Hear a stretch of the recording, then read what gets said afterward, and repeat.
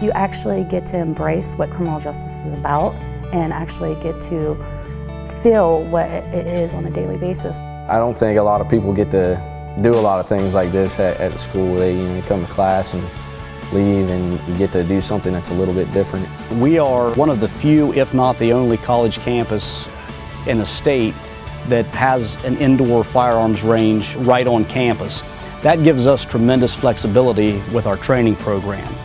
The best semester at Zane State College for me was I took defensive driving, defensive tactics, and firearms. Every day of the week I had something fun to do. It was either learning how to defend myself, learning how to drive smartly, or to fire my firearms. The hands-on experience that you get is the best part of this criminal justice program.